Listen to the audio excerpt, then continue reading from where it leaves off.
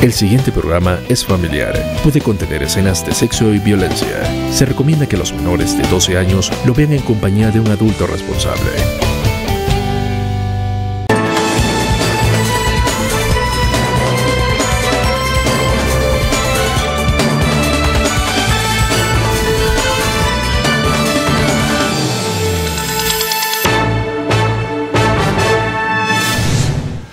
Muy buenas tardes y bienvenidos a la emisión de Enlace Noticias de este domingo 22 de enero de 2023. Saludamos a quienes están conectados y a quienes nos ven a través de www.enlacetelevisión.com.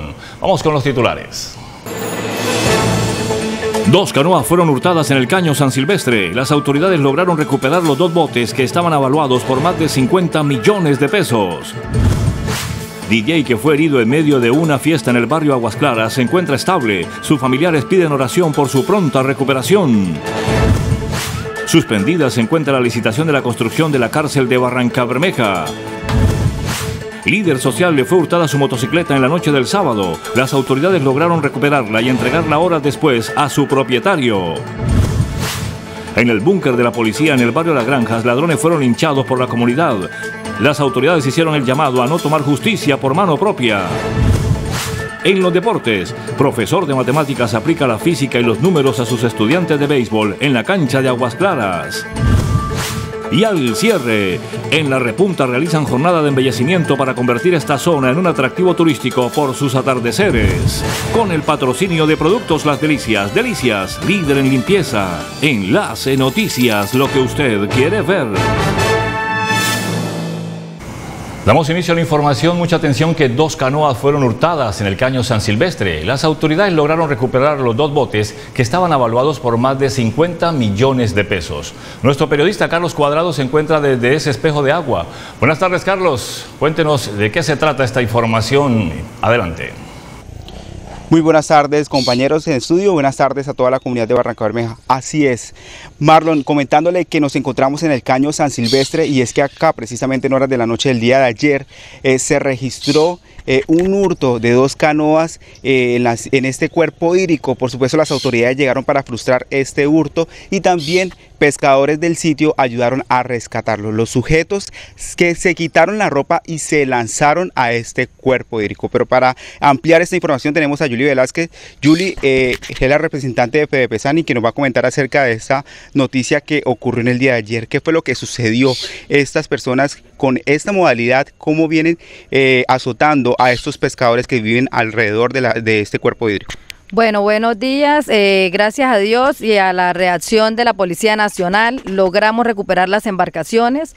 Eh, los sujetos llegan con cizallas, violan los candados y cogen las embarcaciones y las llevan siempre a más o menos mil metros de distancia. Como las embarcaciones tienen GPS, esto le permite a la policía rápidamente identificar y extenderse en ellos por los diferentes puntos o entradas que tenemos acá en el sector. Y en ese despliegue de la policía, pues rápidamente con alumbrando con linternas, con los celulares, se puede dar en el momento que la policía está reaccionando, se evidencia sobre el caño que los sujetos se lanzan al agua, dejando dentro de las embarcaciones la cizalla, la ropa, zapatos, todo eso encontró la policía para de esta forma ellos hacer su, su robo como siempre nos tienen azotados acá en este sector. Estamos muy contentos y le damos gracias a la Policía Nacional por esa gran reacción que hicieron rápidamente. Como ya conocen el sector acá, fue una forma muy rápida y en compañía también con la comunidad, con los pescadores que a esas altas horas de la noche se metieron por todos lados también a alumbrar. Gracias a Dios hoy recuperamos las canoas, ya las tenemos acá de regreso y también lo importante es que con esta modalidad del GPS, esto nos permite identificar rápidamente el lugar por donde los delincuentes lleven, el, en este caso, nuestras embarcaciones. No es la primera vez que sucede esto aquí en este cuerpo hídrico, alrededor de este cuerpo No, hace aproximadamente mes y medio a un señor acá cerca, al señor Cadena, a él le robaron una embarcación también. Entonces eh, fue en la madrugada y es una hora, digamos, de que esto es muy solo acá el lugar, el sector. Entonces la canoa, pues la de él si no tenía GPS, no pudo hacer nada. solamente queda en la denuncia, pero de ahí no prospera pero gracias a Dios como activamos de colocarle GPS a las embarcaciones, que también pues empezamos a, estudiar de qué forma podemos minimizar un poco estos hurtos, pues esto nos permite porque la policía rápidamente puede también identificar y poder llegar al lugar donde estén los objetos. Ustedes hoy solicitan a las diferentes entidades un proyecto que pueda eh, subsanar esta problemática también de que los GPS, todas las canoas los tengan para que no se venga registrando esos hurtos. Bueno, hacemos el llamado a la administración administración municipal y a todas las entidades que nos apoyan, a todas las comunidades de pescadores con embarcaciones o con motores o con motores fuera de borda, de que es importante que se pueda hacer un proyecto, que desde la administración se inicie un proyecto. Ya empezamos con la policía marcando los motores y las canoas. Ya eso lo venimos trabajando con la policía. Pero sí es importante que desde la administración exista un proyecto donde se le pueda adaptar GPS a todas las embarcaciones y a todos los motores para de esta forma uno también rápidamente y la policía rápidamente poder reaccionar y recuperar los objetos que en estos momentos es pérdida porque para, digamos, una federación que somos más de 500 pescadores, el hecho de que se roben las canoas, unas canoas que han sido también entregadas por la administración, por otras entidades y otras compradas con nuestro propio recurso, para nosotros pues es bien complejo porque Hoy, gracias a Dios, la, expectativa es otra. Hoy hubiéramos amanecido frustrados porque prácticamente quedamos sin herramientas, que con estas hacemos los monitoreos, salimos a verificar el manatí, el momento que hay mortandad de peces, ahora que ha habido buena subienda de pescado, los pescadores salen hasta el río, se pueden movilizar a largas distancias para poder hacer su faena de pesca. Gracias, Julie. Como lo ha expresado ella, pues fue en horas de la noche y no lograron capturar a esta persona debido a la oscuridad y también que eh, huyeron rápidamente por el cuerpo hídrico que está ubicado a mi espalda. Esta modalidad se completó con herramientas, esos ladrones llegaron aquí con herramientas y las prendas, como ustedes están viendo en pantalla, son las que utilizaron para cometer este hecho. Este es un informe de Carlos Cuadrado para toda la comunidad que estuvo conectada a través de Enlace Noticias. Gracias Carlos por su completa información. Y líder social le fue hurtada su motocicleta en la noche del sábado. Las autoridades lograron recuperarla y entregarla horas después a su propietario. En la Comuna 7 de Barranca Bermeja, dos sujetos en un vehículo hurtaron una motocicleta en el barrio La Independencia. La moto tipo Boxer fue recuperada por las autoridades del Departamento de Policía del Magdalena Medio, donde horas después fue entregado a su propietario. Nuestro líder social Fernando inmediatamente nos avisa mediante la línea 123 y se activa un plan candado dando con la recuperación de la motocicleta. Nuestro modelo nacional de vigilancia comunitaria hace la entrega al señor Fernando, líder social del municipio de Barranca Bermeja, y es un gusto para nosotros poder servirle eh, y entregarle de nuevo su, su patrimonio. El líder social Fernando Pacheco agradeció la gran labor de la acción rápida que realizó las autoridades. Quiero darle las gracias a la Policía Nacional, al capitán por haber hecho rápido eh, la reacción. Pudimos eh, recuperar la moto, de verdad muy agradecido. La policía eh, estuvo haciendo rápida acción y pudieron recuperar la moto. De verdad que es la segunda moto que nos compran de la fundación y, y de verdad que muy agradecido con la Policía Nacional. Don Fernando, muchas gracias. La policía del Magdalena Medio recalcó la importancia de denunciar a tiempo todo este tipo de hecho que se registre contra la integridad de una persona para actuar y reducir la criminalidad en esta región. 12-10 minutos en Colombia. Suspendida se encuentra la licitación de la construcción de la cárcel de Barranca Bermeja. Esto por presuntas irregularidades por la aprobación de uno de los consorcios. El proyecto está avalado por más de 220 mil millones de pesos se conoció que la licitación actual de la construcción de la nueva cárcel de Barranco Bermeja se encuentra suspendida por presuntas irregularidades de los consorcios que están participando para la licitación de dicho contrato por un valor de 220 mil millones de pesos. No obstante lo anterior y sumado a esa circunstancia, repito, tuvimos también la posibilidad de informarle a la entidad y de demostrarle de manera rigurosa y detallada que el proponente que se encuentra como único habilitado y emplazado hasta ahorita, como primer, en el primer puesto del orden de elegibilidad, me refiero al consorcio BOR, está impedido para resultar posiblemente adjudicatario de este proyecto, tomando en consideración dos razones de muchas. En respuesta a las presuntas irregularidades, el director del USPED, Ludwig Joel Valero, respondió a los dos consorcios que están en desacuerdo por dicha licitación de la nueva cárcel. Eso es un informe, no es la decisión de fondo de la USPED, valga la pena aclararlo. Y como es un informe, se le da el traslado a las partes, ¿cierto? Por, por, por parte del comité evaluador, se le da el traslado a las partes para que las partes manifiesten su apreciación respecto del informe, ¿cierto? Y entonces es ahí donde eh, el consorcio, donde el consorcio Barranca CFP, representado jurídicamente por el doctor de la Pava, y el consorcio Tierra Adentro, representado jurídicamente por el doctor Camilo Rodríguez, hacen una serie de observaciones al informe. Y entonces la ley lo permite, en desarrollo de esa audiencia, las, las partes hacen observaciones al informe y se observan entre sí. Se espera que en los próximos días se renueve la licitación después de haber pasado por la Contraloría General de la Nación. Este proyecto lleva planificado por más de 10 años con el fin de retirar la cárcel que está ubicada al lado de la alcaldía distrital. Hasta la fecha no se ha colocado la primera piedra. Y ante la construcción de la cárcel de Barranca Bermeja, líderes ambientalistas rechazan el impacto social y ambiental que generaría esta edificación en el corregimiento del centro. La nueva cárcel de Barranca Bermeja está planificada para ser construida en el corregimiento El Centro en las veredas Barasanta, Dos Bocas y Cretáceo. Expresan inquietudes sobre el impacto ambiental y social que tendrá en su entorno el establecimiento carcelario.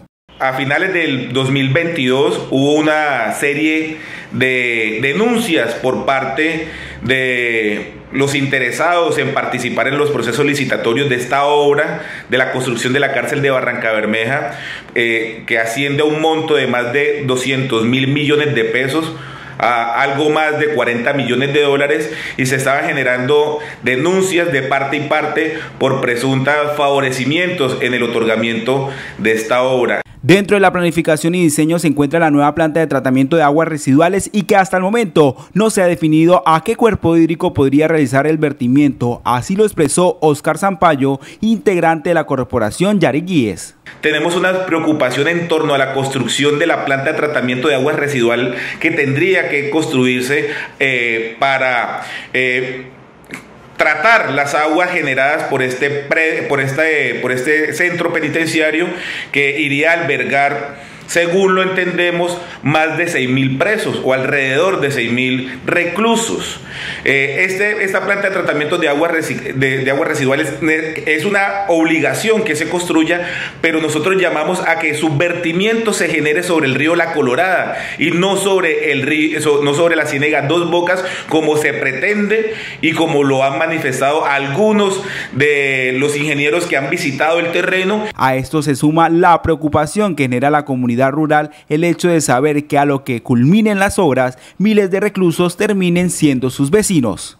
Las entidades encargadas de esta obra, sea la USPEC, el Ministerio de Justicia eh, y los entes departamentales y locales, dialoguen con las comunidades donde se va a encontrar esta obra, donde se va a, construir este, este centro penitenciario y no sean las comunidades las últimas en enterarse de los impactos sociales y ambientales que va a generar esta obra que se está construyendo indudablemente hoy a espaldas de los barranqueños. Líderes ambientales del centro aseguran que pese a que se conoció que el contrato será adjudicado en las próximas semanas, aún las comunidades no tienen claridades ni le han socializado el proyecto. Y mucha atención que el DJ que fue herido en medio de una fiesta en el barrio Aguas Claras se encuentra estable. Sus familiares piden oración por su pronta recuperación. En una UCI, la unidad clínica La Magdalena permanece Luis Alfonso Sanabria Navarro de 30 años de edad en reposo total de 72 horas y pasado este tiempo el personal médico definirá los procedimientos a seguir en este caso, luego que recibiera un disparo en la cabeza en la madrugada de este sábado. El hecho se presentó cuando Luis, de oficio DJ, se encontraba al parecer animando una fiesta en el barrio Aguas Clara, comuna 2 de la ciudad, hasta donde llegaron hombres motorizados amenazando a las personas que a esa hora departían y les hurtaron sus pertenencias, incluido a él, a quienes le arrebataron computador portátil que en su instrumento es esencial para su trabajo. Sobre su estado de salud, Janet Navarro, su señora madre, manifestó que él se encuentra estable. Los médicos están esperando que se desinfle el hematoma toma que tiene muy cerca el cerebro que no se afectó y así poder sacarle la bala. Luis Alfonso vive en el barrio El Cerro con su familia, quienes piden a sus amigos y a la comunidad de Barranco Bermeja con el respaldo en la oración para que él salga bien de esta situación. Y mucha atención que hace pocos minutos la madre del DJ Luis Sanabria habló sobre el estado de salud de su hijo. El diagnóstico del neurocirujano ayer fue que le iba a dar reposo por 72 horas para darle tiempo que desinflame el área que está cerca del cerebro, la tiene inflamada por el impacto de la bala. Lo que nos relata las personas que estaban con él era que ellos estaban repartiendo ahí en la casa, en el en la terraza de la casa y, y llegaron llegaron dos personas en una moto, una se bajó armada les expidió las pertenencias. Y mi hijo quiso como ganar tiempo para esconder el portátil que él tenía ahí y el tipo se dio cuenta. Ya, mi hijo le, le, le dijo que por favor no se llevara eso, que era su herramienta de trabajo. Y el tipo no le importó, se le acercó a quitárselo y mi hijo protegió con él y, y al proteger el tipo tuvo la oportunidad de dispararle, le disparó en la cabeza pues en este momento mucha oración porque estamos esperando que pase el tiempo que el cirujano eh, está esperando para, para poder tomar una decisión correcta y poder proceder sobre él. La UIS tiene una nueva forma de ingreso, curso con curso. Estudia seis horas diarias desde el 23 de enero al 3 de febrero de 2023 y podrás acceder a un cupo a los programas de ingeniería que se ofertan en la UIS Barranca Bermeja clases presenciales o híbridas, cuatro módulos de estudio, prueba clasificatoria. Más información sobre inscripciones y requisitos al PBX 620-0700, extensiones 6006-6020 o al celular 320-818-9241. Seguimos llevando a nuestra comunidad el acontecer de la ciudad y región. Si quiere la ampliación de estas y otras informaciones, las puede encontrar en nuestra página de internet www.enlacetelevisión.com. Hacemos una pausa, ya regresamos con más Enlace Noticias.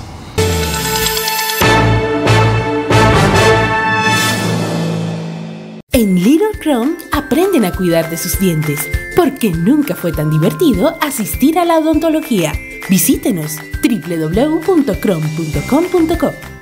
Queremos cuidar de ti y de los tuyos. Tu salud es nuestro compromiso más preciado. Estamos preparados con profesionales dotados de calidez humana para satisfacer las necesidades de nuestros usuarios. Tenemos un amplio y diverso portafolio de servicios de medicina especializada, lo que nos hace el primer centro asistencial de segundo nivel más importante en la región. Te esperamos. Seguimos creciendo, seguimos mejorando. Hospital Regional del Magdalena Medio. Colegio Seminario San Pedro Claver, 70 años. En 2023 abrimos los niveles de preescolar o educación inicial. Sus hijos estudiarán en un ambiente campestre donde se respira paz y naturaleza, excelencia académica, orden, disciplina y formación en valores humanos y cristianos. Matrículas abiertas, preescolar, primaria y bachillerato. Visítanos. Donde hay un seminarista, hay una expresión humana de fe y servicio. ¿Te gusta el pollo? En Distribuidora Distrimayo vendemos productos cárnicos del mercado y las mejores marcas de pollo a nivel nacional. Ven y disfruta de nuestras ofertas del día y los mejores precios. Nos encontramos ubicados en la diagonal 60, número 71 a 21 del barrio Altos de Rosario por Obras Públicas. Domicilios al 314-453-6430. De regreso a clase con su cacharrería La Pinta, ofertas y promociones en útiles escolares, descuentos del 5 al 15%, cacharrería La Pinta, precios espectaculares al por mayor y de tal, diagonal al Parque Las Palomas, cacharrería La Pinta, de la mano con los estudiantes.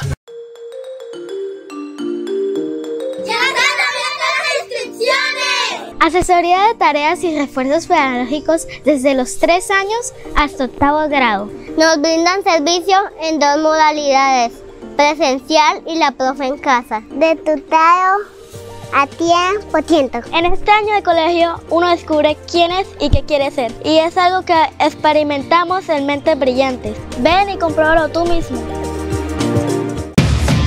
Estudia la ingeniería de tus sueños en la Universidad Industrial de Santander. Accede a uno de los cupos para ingeniería civil, industrial, mecánica, eléctrica, electrónica, química o de petróleos, con el nivel introductorio de la sede WIS Barranca Bermeja, un preuniversitario que hace posible tu sueño de ingresar a la WIS. Información en www.wis.edu.co. Atrévete a dar el primer paso. Imagina ser WIS.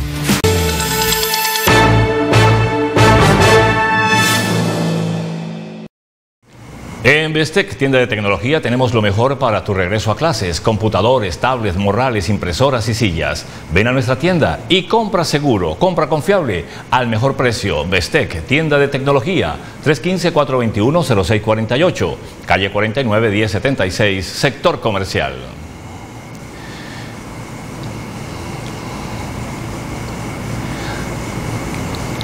Seguimos con más información. En el búnker de la policía en el barrio Las Granjas, ladrones fueron linchados por la comunidad. Las autoridades hicieron el llamado a no tomar justicia por mano propia. En este registro de video grabado por la comunidad se observa a los presuntos ladrones que pretendían hurtar una mujer por inmediaciones de la calle 10 del barrio Colombia.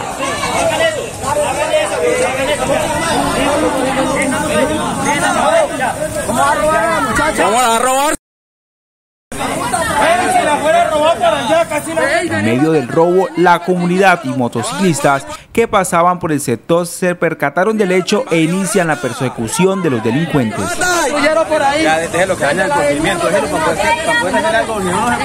En su huida, los sujetos llegan hasta el búnker del barrio Las Granjas buscando refugio. Allí se entregan a la policía. Sin embargo, la comunidad molesta por el hecho ocurrido golpea uno de los vehículos donde se transportaba estas personas.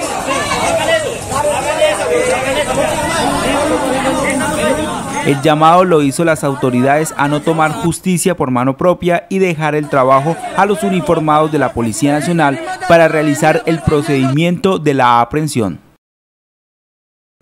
En Cron encontrarás experiencia y tecnología, la mejor combinación para expresar tu sonrisa. Agenda tu cita www.cron.com.co. La tranquilidad de la comunidad del barrio La Victoria se vio interrumpida. Aseguran los residentes que seis disparos fueron impactados en una de las puertas ubicadas por la calle 37 de la Comuna 1.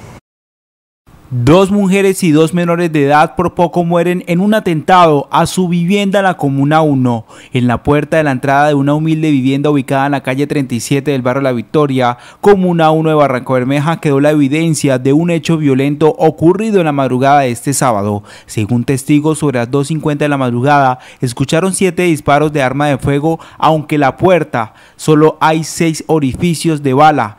En la casa vive una mujer de 41 años, su hija y los hijos de esta. Una de las niñas tiene 5 años y un niño que hoy cumple 3. También manifestaron que no oyeron a ningún vehículo llegar o alejarse de la vivienda. En la madrugada del día de hoy, en el distrito de Barranca Bermeja, en el barrio La Victoria, una residencia es impactada en siete ocasiones por proyectiles de arma de fuego. Al parecer, dos sujetos en motocicleta habrían ocasionado los hechos. La residencia se encuentra ocupada por cuatro personas, pero ninguna de las cuales sufrió lesión alguna. En este momento nuestros componentes investigativos se encuentran en el esclarecimiento de los hechos. Agradecemos a la comunidad que tenga información veraz y oportuna que nos permita orientar eh, la investigación, se acerca a nuestras unidades policiales más cercanas o se comunique con nuestras líneas de atención telefónica. Garantizamos absoluta reserva. Por fortuna, ninguno de los disparos impactó a los habitantes de la edificación, porque según narró un líder del barrio, dormían en el suelo. En el lugar hicieron presencia uniformados de la Policía Nacional, quienes se apersonaron del caso, acompañaron a la familia y le brindaron protección hasta que lograron sacarla del lugar a otro sector. En otras informaciones, la Secretaría Departamental de Educación dio a conocer que este lunes regresarán los estudiantes a clases. El calendario escolar 2023 inicia este lunes 23 de enero en las 272 instituciones educativas y 2.218 sedes de los 82 municipios no certificados en educación del departamento. Las matrículas continuarán abiertas hasta que los cupos se agoten. Se espera que un total de 148 mil niños y niñas, adolescentes y jóvenes logren ingresar al sistema educativo este lunes. A la fecha tenemos 125 mil estudiantes caracterizados ya en el CIMAT. La invitación muy respetuosa es a nuestros padres de familia, a nuestros docentes, rectores, directivos, personeros, alcaldes, a todos que nos ayuden para que sigamos incrementando esta matrícula. Tenemos tiempo aún todavía, hasta el 23 de enero que iniciamos clase. Por favor, lleven a sus hijos, acompáñenlos totalmente gratuito al lugar más cercano, a su institución educativa más cercana. Nuestra meta son 148 mil niños caracterizados y inscritos en el esquema escolar. Según la Secretaría Departamental de Educación, algunas instituciones continúan con proceso de matrícula para aquellos estudiantes que quieran acceder a una institución pública. Para llevar a cabo el proceso de matrícula se debe presentar el documento de identificación, carne de vacunación, certificado médico, teniendo en cuenta que cada institución educativa emite sus propias orientaciones. No se requiere de intermediarios y es gratuito. Plazo tenemos todo el año, pero es importantísimo que todos nuestros niños estén caracterizados al 23 de enero. Beneficios, programa de alimentación escolar, transporte escolar, inician sus clases con sus demás compañeros. No los dejen para la última hora, por favor. Todavía hay tiempo. Tenemos estos días para que matriculen a sus hijos. Plazo hasta todo el año, pero iniciamos clase 23 de enero. Estaremos acompañando con mi equipo de trabajo en diferentes instituciones para hacerle seguimiento al primer día de clases. Si Dios nos lo permite, estaremos en Vélez haciendo acompañamiento, estaremos en, la, en Puente Nacional haciendo acompañamiento, con nuestro primer día de clase, con nuestro primer día del programa alimentación escolar. Este año escolar, los estudiantes contarán con una planta de maestros en el departamento que responde a la capacidad instalada en los colegios. Además, 81 docentes orientadores estarán dispuestos para fortalecer el acompañamiento psicosocial en las instituciones. Antes de ir a la pausa, lo dejamos con la información institucional de la Sierra Infantas, donde Copetrol fortalece con asesoría, entrega de equipos y maquinaria a emprendimientos del corregimiento El Centro. El blog del pregonero en el corregimiento El Centro. En el centro no solo se produce petróleo, también se produce miel, como la de la Pícola Famarca, un proyecto productivo que nació de la mano de Fabián Camacho y Marcela Aguirre, Pícola Famarca eh, nació hace aproximadamente tres años. Hace tres años decidimos formalizarnos como, eh, como emprendimiento, como proyecto productivo y decidimos llamarlo Famarca por la abreviación de los iniciales de mi familia. Hoy, gracias a Ecopetrol Emprende, cuentan con herramientas y conocimientos que les permitirá ofrecer un servicio de calidad. Estas herramientas, digamos esta que es la prensa, es aprovechar al máximo eh, la miel que queda en la cera del opérculo, digamos como para tener un margen de, producción un poco más alto y esta herramienta que es el de, deshumidificador de miel es para garantizar la, que la humedad de la miel vaya en su respectivo grado y poderle brindar lo mejor a cada uno de nuestros clientes. Ecopetrol Emprende es un programa que fortalece emprendimientos con asesoría personalizada y acompañamiento en la gestión comercial de sus productos. Los programas que hace Ecopetrol ayuda de pronto a motivar a las personas en mi caso, pues esto siendo una, zona de industria petrolera, enfocarse uno a una actividad que no tiene nada que ver en la zona y que es una actividad, digamos, aparte de, generar de pronto una rentabilidad económica a mi familia, genera un gran, un gran impacto ambiental. El blog del pregonero en el corregimiento El Centro.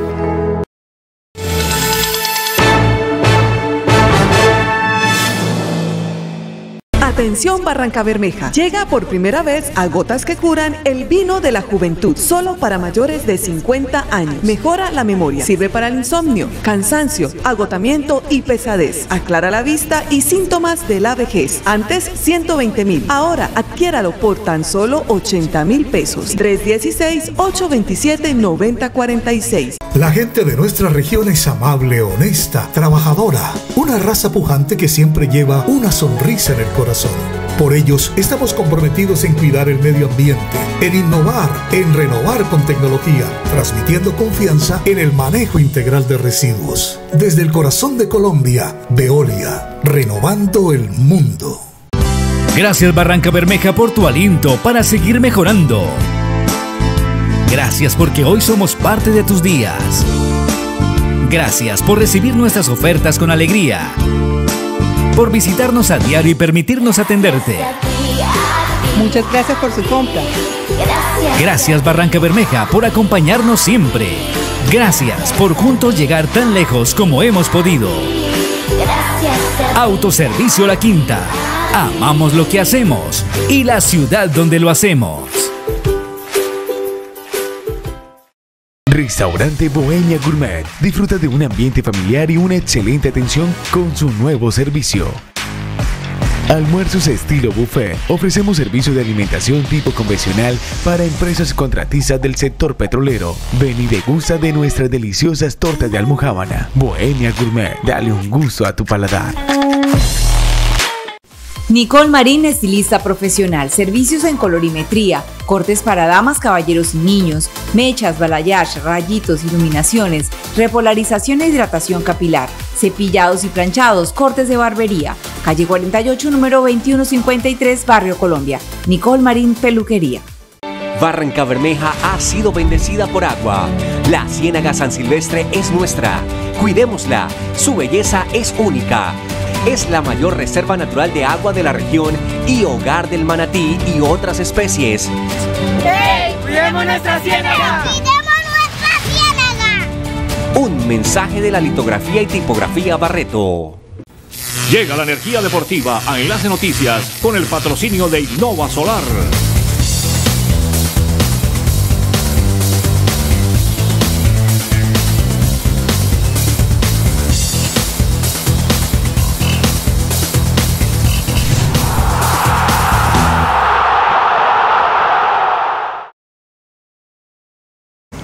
La energía solar es una realidad en Barranca Bermeja. Innova Solar te ayuda a reducir el costo de tu recibo de energía al pago mínimo. Es tiempo de ahorrar. Cámbiate a energía solar. Escribe al 300-797-6403 y solicita tu cotización. Innova Solar SAS.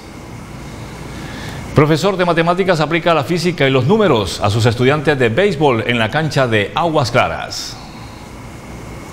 Víctor Gustavo Miranda es el actual entrenador del equipo séptimo inning de béisbol. Víctor no se preparó en una academia para ser profesor de educación física, pero sí como profesor de matemáticas. Asegura que aplica la física y los números en la cancha con sus estudiantes para enseñarles de su experiencia como jugador profesional en la selección Santander Plus 50.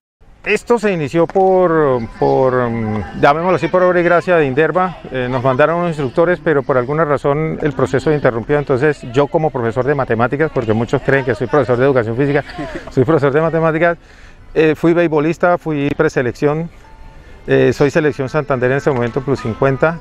Entonces decidí en un momento dado continuar con ese proceso que Inderva nos invitó. Entonces nuestro equipo es prácticamente semilla del colegio eh, la institución educativa José Prudencio Padilla CAS. Actualmente hay equipo masculino y femenino de béisbol. Sonia Quiroga Muñoz hace un año se encuentra en este equipo y señala que el sexo femenino se ha tomado el béisbol en Barranca Bermeja. Pues la verdad, yo empecé hace un año. El profesor Víctor me vio en el colegio y de ahí salí del semillero que él tiene en el colegio. Yo nunca había jugado esto y me empezó a interesar pues que lo intenten y que no se dejen vencer por cualquier cosa, porque a veces uno piensa que el deporte es solo para hombres, entonces como que no, yo soy mujer, no voy a poder dar la talla, pero sí la puede dar. Daniel Steven Hernández afirma que fue jugador de fútbol, pero desde que conoció una pelota de béisbol no deja de pegarle con el bate. Fue muy buena, aparte de todo estar con mis compañeros, convivir, aprender un nuevo deporte, ya que lo mío, o sea, yo pensé que siempre todo era el fútbol, pero fui experimentando y me gustó. Pues este es un deporte muy bonito, todo en equipo, y bueno, la convivencia era todo. Para los niños, jóvenes y adultos que quieran pertenecer a este club y conocer este deporte, lo pueden hacer a través de los números 315-754-6191. 12.36 en Colombia. En la Repunta realizan jornada de embellecimiento para convertir esta zona en un atractivo turístico por sus atardeceres. Mi nombre es Marlon Méndez, líder del colectivo Reforma Juvenil. Hoy, 22 eh, de enero, pudimos concluir lo que es una junta por la repunta, esa limpieza que hicimos en este sector, una jornada de concientización. Nos acompañó la Defensa Civil, la Policía, colectivo de Reforma Juvenil y diferentes líderes de la ciudad. Invitamos a todos los barranqueños a que lleguen aquí al sector de la repunta a tomarse la foto y poder disfrutar de los bellos atardeceres que se pueden encontrar en este sector. Bueno, y con esta bonita información culminamos así nuestra emisión de Enlace Noticias, invitándoles a que sigan con nuestra programación. Feliz resto de domingo.